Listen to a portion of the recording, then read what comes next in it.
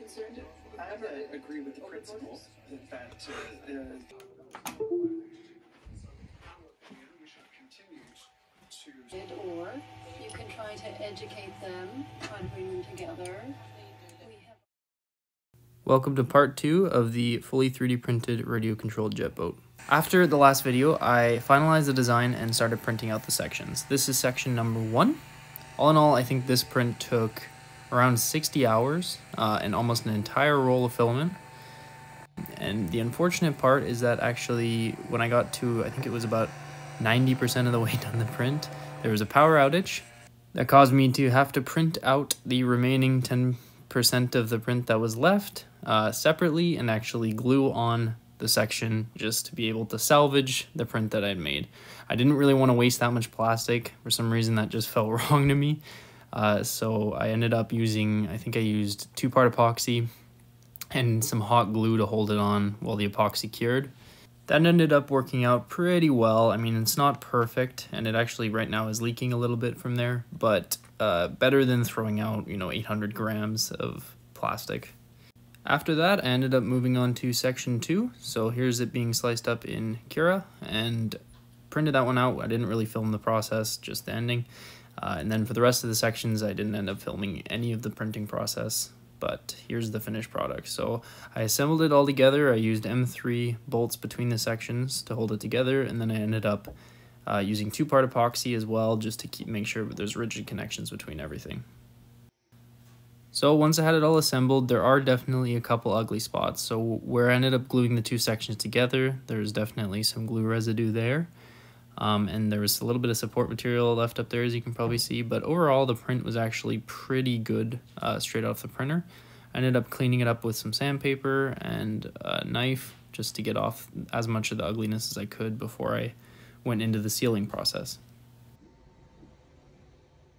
So to seal the boat, I ended up going to my local Canadian Tire and grabbing a bottle of Flex Seal. I know it's a bit of a meme at this point, but I found in the past that it works pretty good at keeping the water out, uh, and it's really easy to apply. I was hoping at the time that this Flex Seal would fill every single crack that exists on the boat. So it, there's four sections.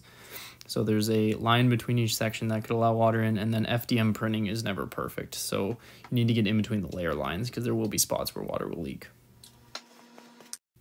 So then I shifted gears towards the shafts. And you know when you have an idea in your head that you think is going to work out amazingly? So you put in all this effort to design and, and think it through, and it ends up just being a total nightmare. Yeah, this was one of those.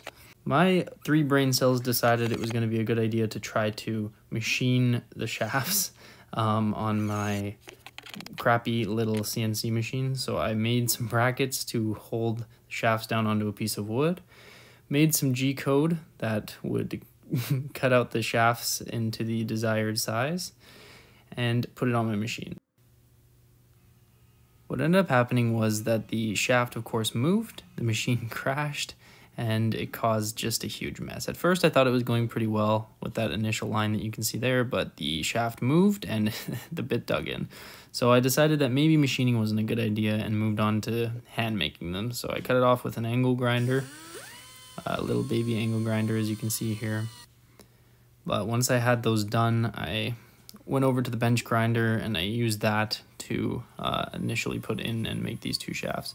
So the sad part is, is that I never ended up even using these in the design that as it is currently because I added another support bearing.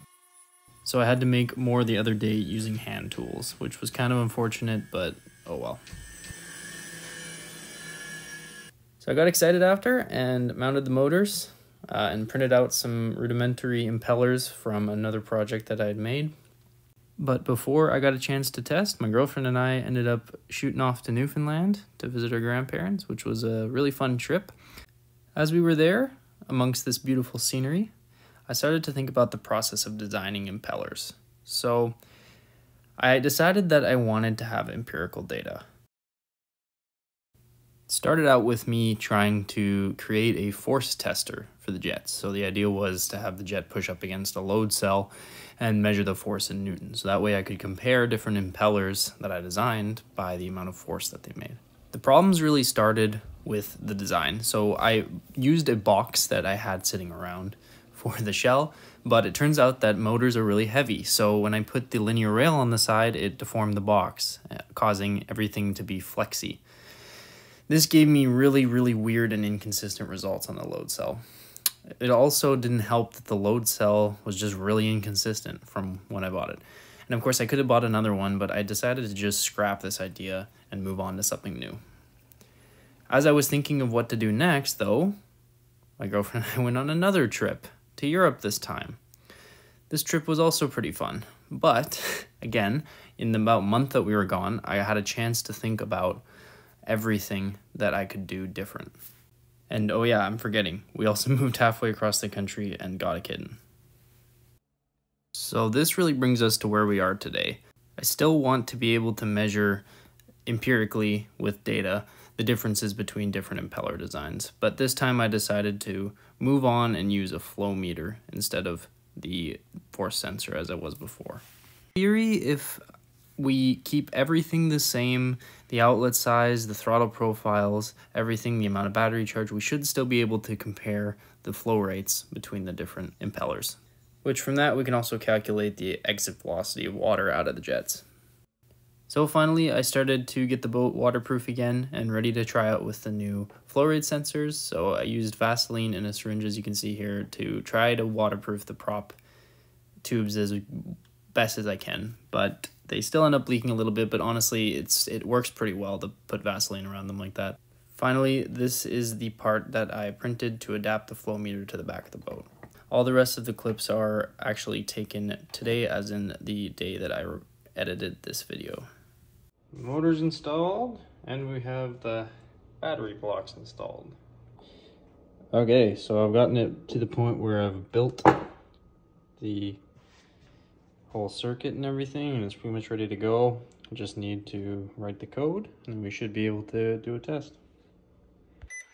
Okay, so battery is now plugged in and system should be ready to go for a test. So if I hit yes, as you can see, type any key, and put that in, it will give me a CSV format file. I don't understand. So on the left, it's supposed to be throttle percent percentage, but for some reason, uh -oh. The vibration, for some reason, it doesn't do the math properly.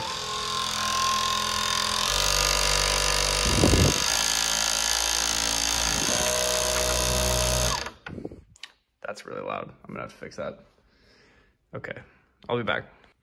Okay, I'm gonna try another time here. I tried to loosen the motor mounts and switch it around. So let's see if that fixes the problem.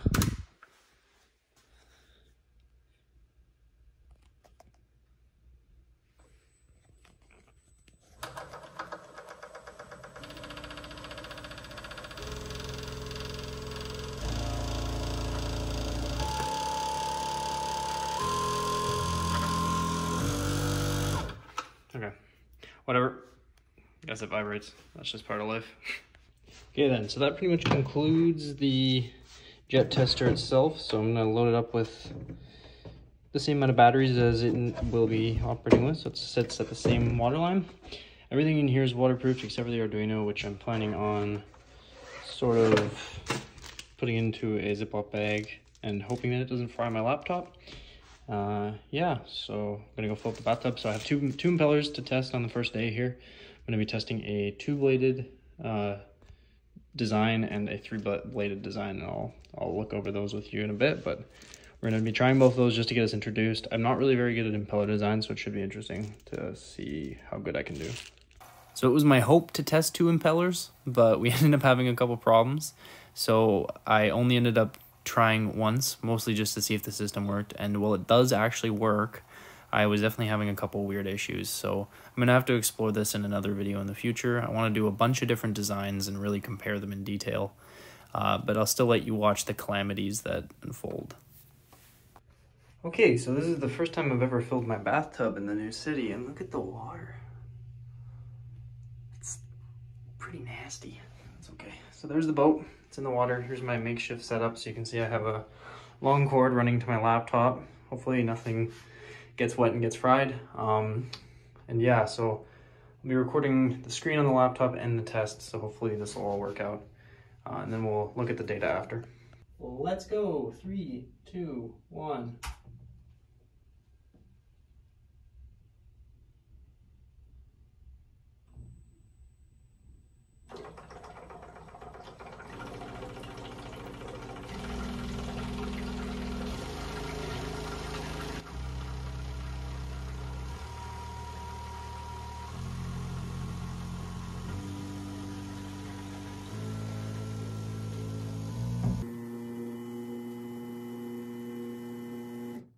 Okay, I'm gonna go for another try. I put a little flow indicator piece of tape there now and go for another full set of three runs. That's the goal. So we'll see how that goes.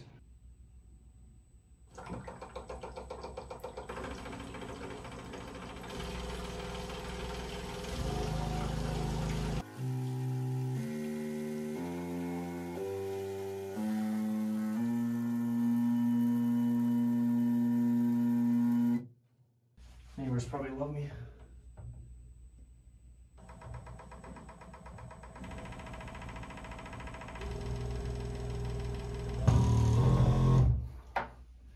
Okay. Anyways, that's the idea. Do more testing when I get a chance. So yeah, that's where we're at with the boat right now. I'll give you guys another update when I uh, figure this whole problem out. Um, if I keep going tonight, my neighbors might actually work.